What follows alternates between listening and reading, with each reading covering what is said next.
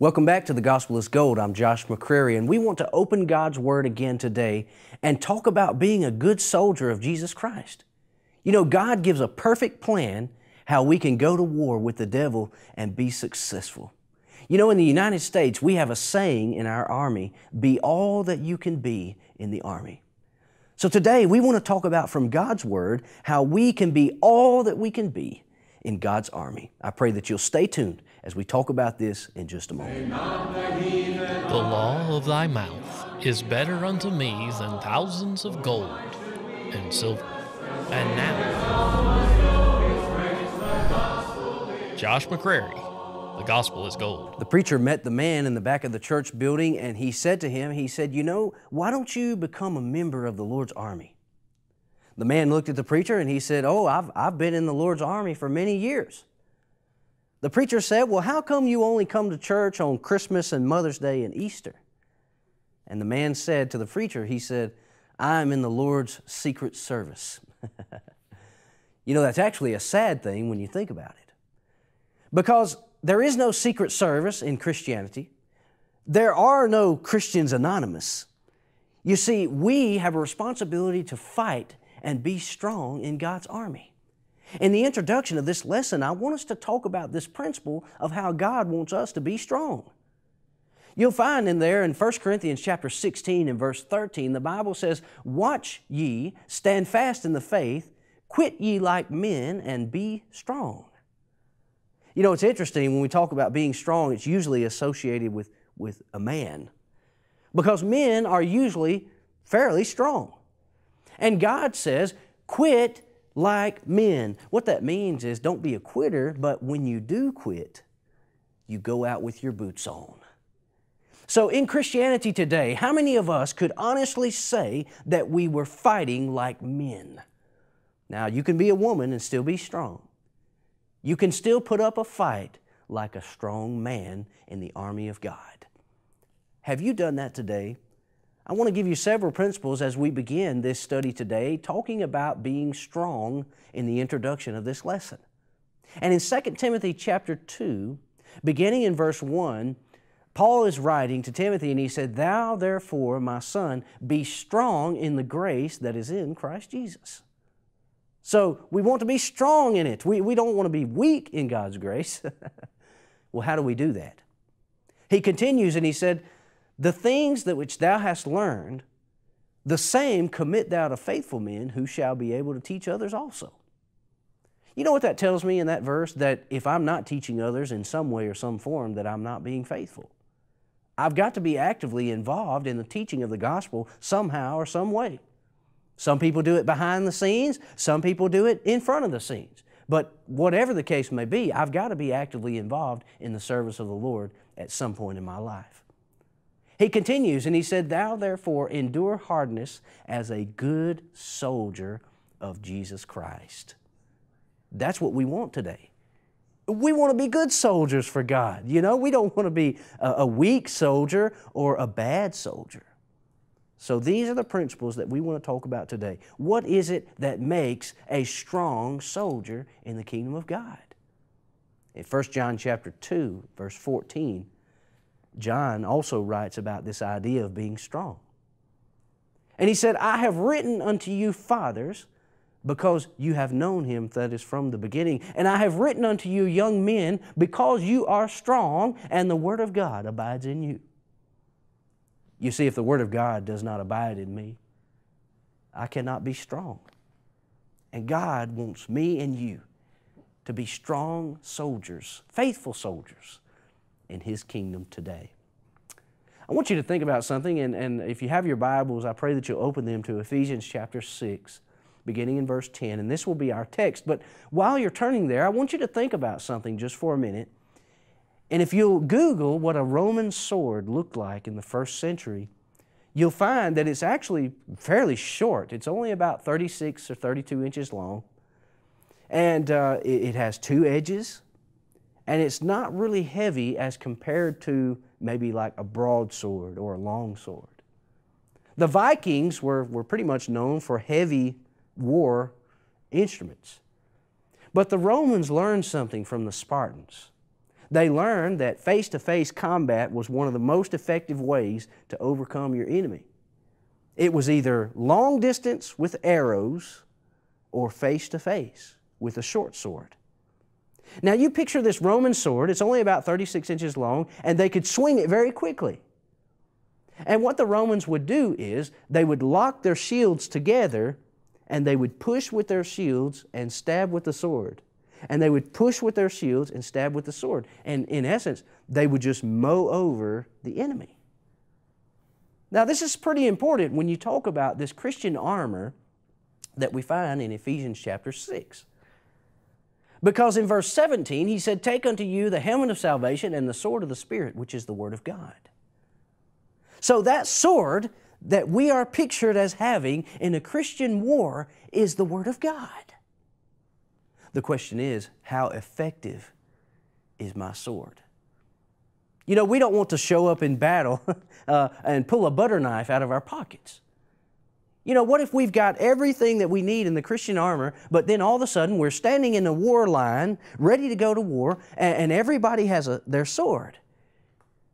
And we pull out this little short dagger. And my fellow soldiers are going to look at me and they're going to say, Look, you need to go home. You're more than just a liability right now. Well, think about this as we talk about the Christian armor in Ephesians chapter 6. Look there in verse 10, if you will. We'll notice about eight verses. He said, Finally, my brethren, be strong in the Lord and in the power of his might. Take unto you the whole armor of God that you may be able to stand against the wiles of the devil. For we wrestle not against flesh and blood, but against principalities, against rulers, against wickedness in high places. Wherefore, take unto you the whole armor of God, that you may be able to withstand in the evil day, having done all to stand. Stand therefore, having your loins girt about with truth, having on the breastplate of righteousness, and your feet shod with the preparation of the gospel of peace. Above all, take the, the shield of faith, wherewith ye shall be able to quench all the fiery darts of the wicked. Take the helmet of salvation and the sword of the Spirit, which is the Word of God. You see, all of this is the exact equipment that we need to go to war against the devil. And I want to tell you today, friend, it is a war. In fact, he said, We wrestle not against the flesh and blood, but we wrestle against the spiritual wickedness in high places, against the principalities, the rulers of darkness of this world. You see, it is a battle. And I want to encourage you today to be a good fighter. And don't just turn over and let the devil take over your life. I want to give you several characteristics today that make a good soldier in God's kingdom. Number one, when he realizes his confrontation you see, many people just go through life, and you know, we talk about Duke Blue Devils, we talk about deviled eggs, we talk about devil's food cake, and, and I don't want to say that those are bad because I, I like all of those. but we don't want to go through life thinking that the devil is a joke. He's not a joke. He is real, friend, and there is a real confrontation with him. The Bible says that he is as a roaring lion, seeking whoever he will devour. 1 Peter 5 8. We've got to stand against him. And I, I want to focus on this confrontation in the word against in your text. Because in your text in Ephesians 6, he said that you will stand against the wiles of the devil. He said that we wrestle not against flesh and blood. So we've got to do something to have a confrontation with the devil. I'm reminded of a story a man told one time. He said uh, in the story that the devil appeared at church service out of nowhere, just a big cloud of smoke, and all of a sudden the devil was there. And everyone was running. They, they were so scared. They couldn't believe how terrible he looked. But everyone ran away except for one man. He came to the front row and he sat next to the devil, and the devil looked at him and said, You mean to tell me you're not afraid of me? The man looked the devil right in the face and he said, I've been married to your sister for 40 years. Of course I'm not, I'm not afraid of you.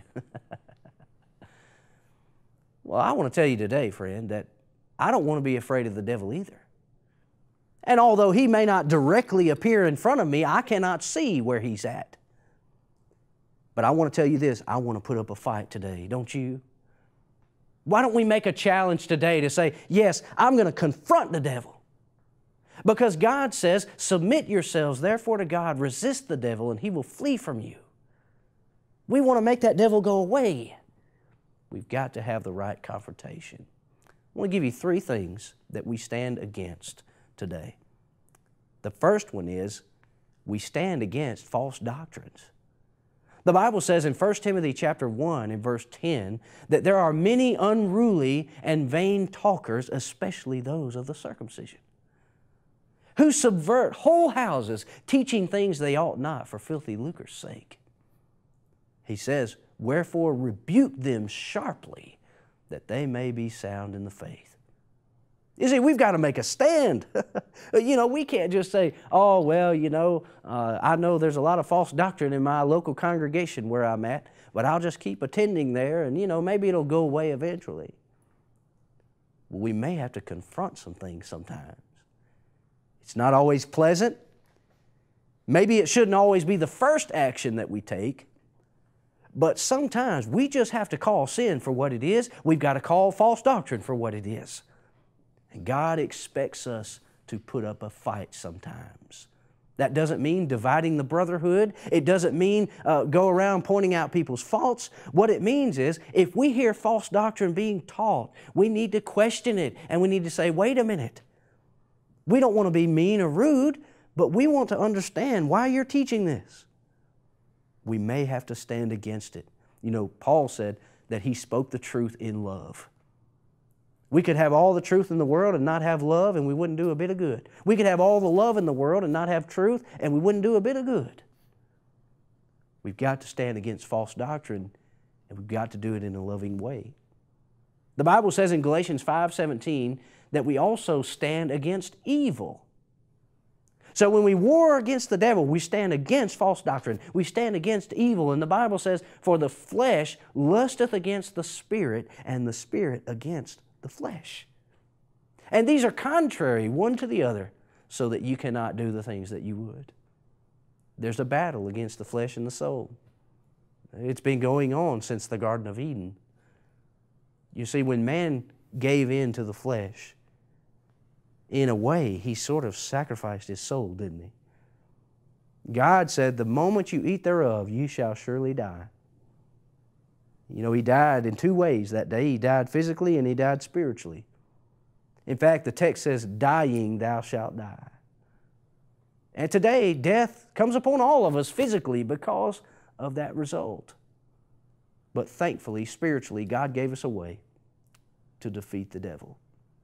So we stand against evil, we stand against false doctrine. I want to give you one more. If you go to Hebrews chapter 12 and you look at verse 4, you'll notice that we also stand against sin. We don't want to allow sin to, to overtake us.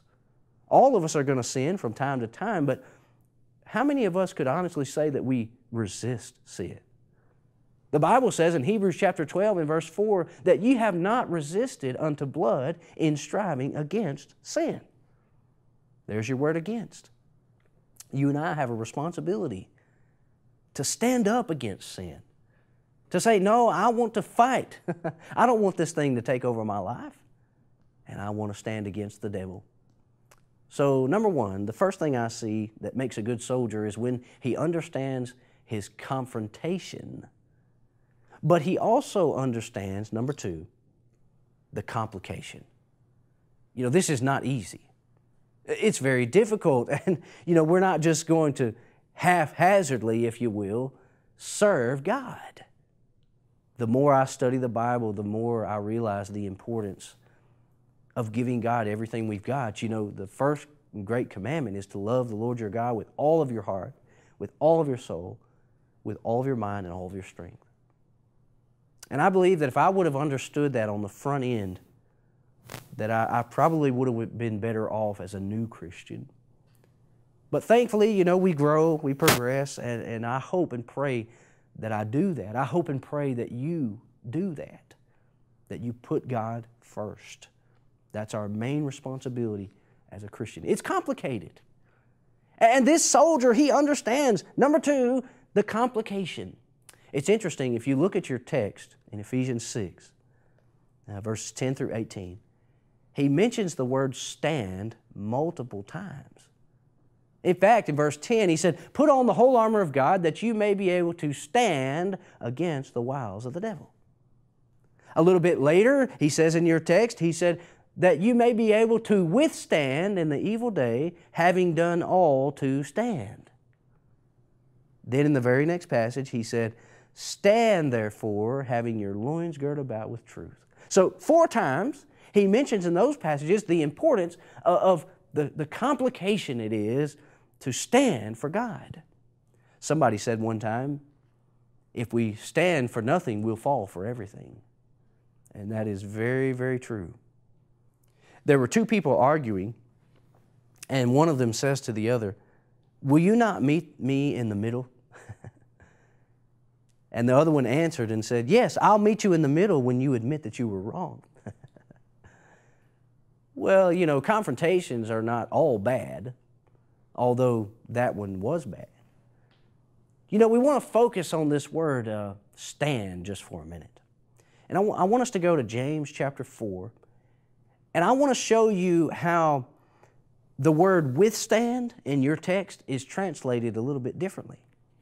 And in James chapter 4, beginning in verse 7, James is writing about how we can fight the devil. Okay? And he says, Submit yourselves therefore to God, resist the devil, and he will flee from you. Draw nigh to God, and God will draw nigh to you. So focus on that word resist just for a minute. Resist the devil. It's the same word translated withstand in your text when, when Ephesians 6, he said, that you may be able to withstand in the evil day, having done all to stand. So resisting and withstanding are the same. But you know, it's complicated. The complication is always there. I want to give you some scriptures that talk about standing. In Romans chapter 5 and verse 1, the Bible says, Therefore, being justified by faith, we have peace with God through our Lord Jesus Christ, and we have access by grace uh, wherein you stand. So we stand in God's grace. We move a little bit forward and you come to 1 Corinthians chapter 15 in verses 1 and 2, and he said, Moreover, brethren, I declare unto you the gospel which I have preached unto you, by which also you are saved, wherein you stand so we stand in God's grace, we stand in the gospel, and also in Galatians chapter 5, you're going to find that we stand in freedom. The Bible calls it liberty. In Galatians chapter 5 and verse 1, he said, Stand therefore in the liberty wherewith Christ hath made us free. So we stand in the gospel, we stand in God's grace, we stand in God's freedom. I'm reminded of uh, Matt Labrum. You can look him up on Google. And uh, what he did was very outstanding. Uh, he was a football coach, and uh, he suspended all the players on his team. He called them in to the locker room one night after they had lost a game, and uh, he gathered them all together, and he, he said something very particular. Uh, he said, I want all of you to turn in your jerseys and turn in your equipment because no one is going to play on this football team until you earn the right to play. Here's what he said in an interview. They asked him why he did this. He said, We felt like we needed to make a stand. He had learned of his football players, they were uh, doing things like bullying people, they had bad grades, some of them were skipping school. You know, all, all he, he, he noticed all these things that were going on in his players' lives, and he said, These players have got to earn the right to play football. Well, he made a stand. He did the right thing. And that's what making a stand is. So when we stand against the devil, there's a confrontation, there's also a complication. It is never easy to do the right thing, is it? I'll give you this one in Colossians chapter 4, verse 12. He says, Epaphras, who is one of you, a servant of Christ, he salutes you, and always laboring fervent for you in prayers, that you may stand perfect and complete in the will of God. So, is it easy to stand in God's will? It's not. Is it easy to stand in the gospel? Is it easy to stand in God's grace? It is not. But all of us are willing to do it. Let me give you one more, and I want to move to Revelation chapter 20. And I want to give you the end result of this. We stand in God's grace, we stand in the gospel, we stand in God's will because one day we will all stand before God. The Bible says in Revelation chapter 20 and verse 12, I saw the dead, uh, the, small, the, the dead, small and great, stand before God, and the books were opened. And another book was opened, which is the book of life. And the dead were judged out of those things which were written in the books according to their works. You see, they all stood before God in the judgment day. You know, I'm reminded in 2 Thessalonians 2.15, he said, Stand fast and hold the traditions which you have received of us. We've got to realize that one day we will meet God in judgment. We will stand there and we will face Him. So, this good soldier, number one, he, he notice his, his confrontation, his complication. I want to move on to number three uh, that he also uh, notices that there is a concentration. You know, I want to focus on this word fight just for a minute. Because he, he focuses on fighting against the devil, and he said uh, that you may be able to stand against the wiles of the devil. For we wrestle not, we do not fight against flesh and blood, but against principality, against powers, against the rulers of darkness of this world. We've got to concentrate on our fight. A professor brought in coffee to his students at college, and he brought in four different kinds of glasses. He brought in uh, porcelain, he brought in glass, crystal, and plastic. And he was, go- he was doing a survey in his own mind. He, he didn't tell anybody what was going on. And he watched the students as they got coffee, and he noticed that they fixed their coffee, and uh, all the students picked up first the porcelain, the glass, and the crystal and all the plastic cups were left. And he wondered, you know, I wonder if there's any other students in here that want coffee, but they're not going to get it because they'll have to drink it out of a plastic cup. His survey was to figure out whether or not people wanted the best things out of life. And he already knew that was true. But he wanted to prove it to his students. And he told them, I brought these glasses in here to show you that people want the best things out of life. But here's what he said to his students He said, Life is the coffee, and the things of life are the cups. Your job, your house, your car, and people want the best things. But he said the coffee never changed life was the same, whether you had a multi million dollar home or whether you had just a regular home. Life is still the same. and when you think about it overall, that, it, that's true. Now, what's most important? What's in the cup or the cup? You see, in life, we've got to realize that we've got to put up a fight to live and to live life to the fullest. And the only way to do that is to do it with God. You know, Paul said, Fight the good fight of faith and lay hold on eternal life, whereunto thou art also called and hast professed a good profession among many witnesses. That's what life is about fighting the good fight of faith, having eternal life. In 2 Timothy 2, uh, 2 Timothy in chapter 4, verses 5 through 8, the Apostle Paul said, I am now ready to be offered, and the time of my departure is at hand. What made him ready? He said, I have fought a good fight. I have finished my course and I have kept the faith. And I want to tell you today a man that has not fought a good fight, a man that has not finished his course, a man that has not kept the faith, he has not lived the life that God wants him to live. Today, we've got to fight, friend. That's my point in this whole lesson today. We cannot just roll over and let the devil walk all over us. We've got to put up a fight. Number four, I like this last point.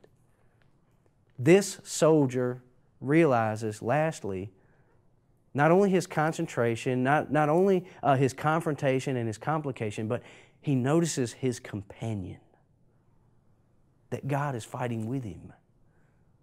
You know, I'm reminded that God told Joshua in Joshua chapter 1 Fear not, neither be dismayed, for the Lord your God is with you wherever you go.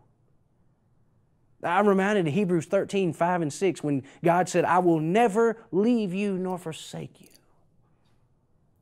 You see, this man realizes that God is fighting with him. He has a companion. And that's why in your text, if you look there in verse 18 of Hebrews chapter 6, now he goes through all the Christian armor, you know, the helmet of salvation, the sword of the Spirit, the breastplate of righteousness, the, your feet shod with the preparation of the gospel of peace, the sword of the Spirit, which is the Word of God. He, he mentions all of these things. And in verse 18, notice what he said praying always with all prayer and supplication in the Spirit for all saints. He said, Pray. Pray that God will help you in your fight. Friend, I want to ask you today are you fighting with God today? Are you fighting with God's army? God needs you, and you need God. And I'm pleading with you now to, to make a decision and say, I'm going to be a good soldier. I'm not just going to be a, a person who sits on the sideline anymore. But I'm going to serve in God's kingdom and I'm going to train to be the person that God wants me to be. There was a boy whose family took him on a journey to visit several other countries in the world. And they wanted to show him how that because he was an American, he was very wealthy as compared to many nations in the world. So they, they took him to different places and he stayed in different villages. And when they got home, the dad asked him, he said, Did you notice anything different about the people where we visited these places? The dad was wanting them to say, Oh, yeah, I realized they were dirt poor. but that's not what the boy said. The boy said, You know, I did. I realized that we only have one dog, and they usually have a whole bunch of dogs. The boy said, We have a swimming pool, but they have a lake. The boy said, We come home and turn on our lights, but at night they sleep outside and look at the stars. He said, Dad, thank you for showing me how poor we really are. you know, when you think about it, the people who live without God are the poorest. It doesn't matter whether or not I have $100,000 in my savings account. It doesn't matter if I've got 700,000 in my 401k. All that will be gone. What matters is whether or not I fought a good fight, whether or not I finished my course, and whether or not I kept the faith. I beg and plead with you today that you will have a companion who will fight with you in your fight. The Bible says, pray without ceasing. 1 Thessalonians 5:17. Jesus spoke a parable to his disciples to this end that they ought always to pray. Luke 18 and verse 1. And I pray that you will continue fighting in your fight today, being a good soldier for Jesus Christ by putting on these, these pieces of armor that will help you be successful in your war against the devil. But I want to ask you have you begun your fight? You may be thinking today, I haven't even done anything. I, I don't even know where to start. But I want to encourage you today to be a part of God's army. The Bible says in Ephesians 5:23 that Christ is the savior of the body. Which means I've got to be in the body of Christ in order to go to heaven.